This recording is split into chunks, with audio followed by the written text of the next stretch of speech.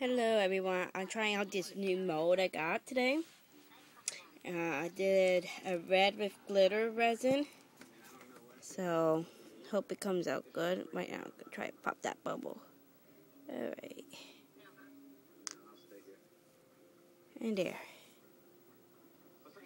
So I got this cherry.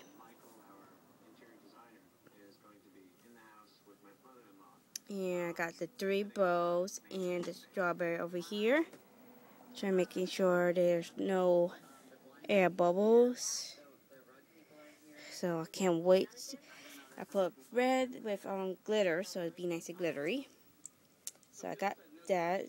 It's good for tomorrow. Probably pop out, demold it.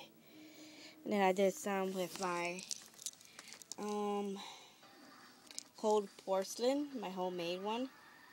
So these are right now I made. They're drying. This one messed up, so so these three came out okay, the same ones as that. This one it's iffy right now, so so yeah. Mm, so, and I have those that still need to be baked. So yeah.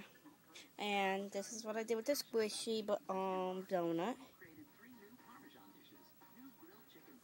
Me get it focused. Hold on.